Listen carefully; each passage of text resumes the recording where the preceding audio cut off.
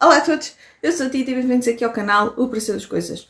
Hoje estou aqui então para fazer aqui o, os tops do ano de 2022, mas antes de passarmos aqui aos, aos meus livros, uh, já sabem, pedido habitual, por favor, caso não sejam subscritores, subscreverem o, o canal, porem like, partilharem, comentarem, tudo isso é aqui importante para o meu canal continuar a crescer e chegar a mais pessoas.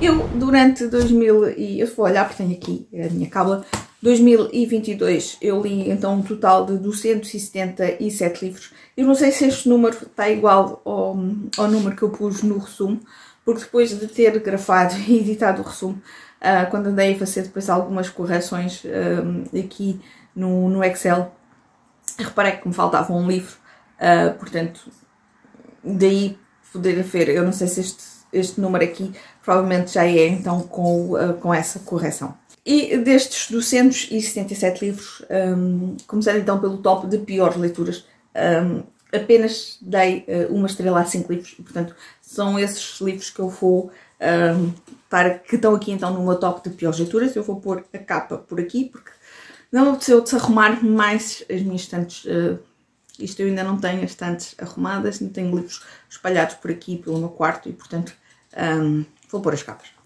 Portanto, tenho então aqui, isto tem a ver aqui de ordem de, um, portanto, de, de, leitura.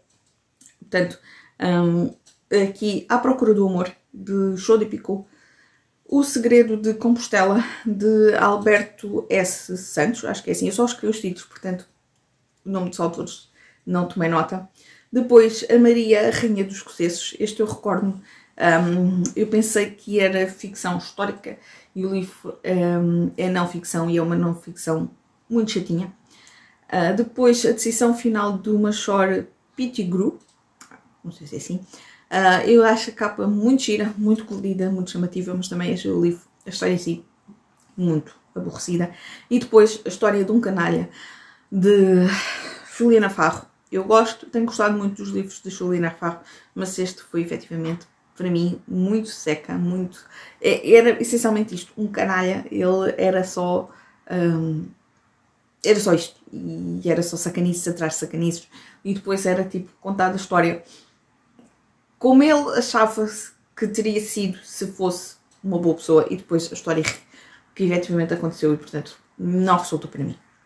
Depois então aqui o top de melhores leituras. Eu tentei aqui fazer aqui algumas divisões.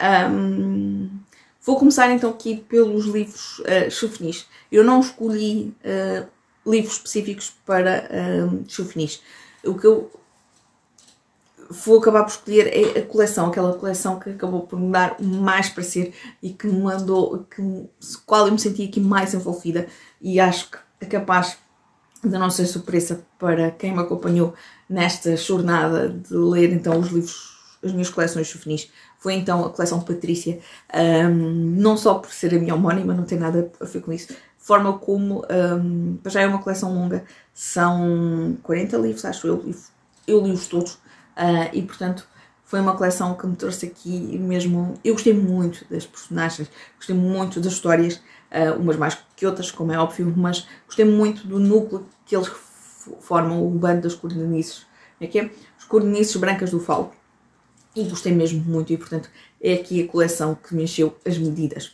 Depois, então aqui agora, então, dentro de categorias, como, é, como tem sido hábito, aqui categorias de autores portugueses, uh, portanto aqui a Noiva Judia, do Nuno Nepomuceno, o Inquieta, de Susana Amaro Velho, o Três Mulheres do Meiral, de Susana Piedade, uh, o Intocável, de Anabela Lopes, esta é uma edição de autor e que vale muito, muito a pena, e depois o Diário de Sem Abrigo, de.